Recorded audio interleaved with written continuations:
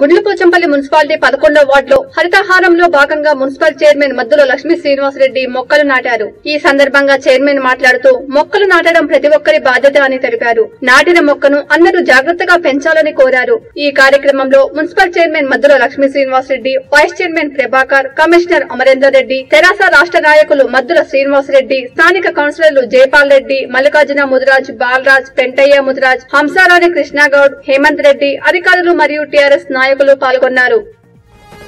స్వరాష్ట్రమై తెలంగాణ విరాజిల్లుతున్నది. పరవశించి తెలంగాణ వీణ మోగుతున్నది రాష్ట్రమై తెలంగాణ విరాజిల్లుతున్నది.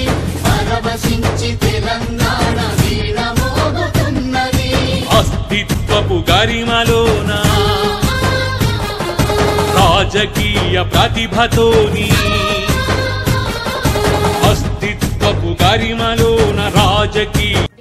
ఒక్క మున్సిపాలిటీలో స్టార్ట్ చేయడం జరిగింది. అదేవిధంగా మా గుండ్లపోచంపల్లి మున్సిపాలిటీలో కూడా స్టార్ట్ అయ్యి మొక్కలు పెట్టడం జరిగింది. మరియు ప్రతి ఒక్క రోజు కూడా ప్రతి ఒక్క వార్డులో కూడా మొక్కలు పెట్టడం జరుగుతుంది.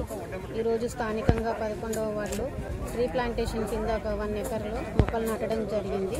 దీనికి స్థానిక కౌన్సిలర్ జయపాల్ రెడ్డి గారు మరియు కమిషనర్ అమరేందర్ రెడ్డి గారు వైస్ చైర్మన్ ప్రభాకర్ గారు మరియు మిగతా కౌన్సిలర్ అందరూ కూడా మాకు సహకరించి ఈ మొక్కలు నాటే కార్యక్రమాన్ని విజయం చేసినందుకు వాళ్ళందరికీ కృతజ్ఞత కృతజ్ఞతలు తెలియజేసుకుంటున్నాను ఇదే విధంగా యాదాద్రి ప్లాంటేషన్ కూడా మా గుండ్లపోచంపల్లి మున్సిపాలిటీలో వన్ ఎకర్లో మేము మా కౌన్సిల్ ముందు పెట్టుకొని నిర్ణయించుకొని అక్కడ కూడా పెట్టడం పెట్టడానికి మొక్కలు పెట్టడానికి కూడా మేము అందరం ముందుకు వస్తున్నాం. అదేవిధంగా మా గుండ్లపోచంపల్లి మున్సిపాలిటీని హరితహారంలో పచ్చదనంగా ఉండేటట్టుగా మేడ్చల్ మరియు మల్కాజ్గిరి నియోజకవర్గంలో మొదటి స్థానంలో ఉండే విధంగా మేము అందరం కూడా కలిసికట్టుగా శాయశక్తుల కృషి చేస్తామని కూడా తెలియజేసుకుంటాం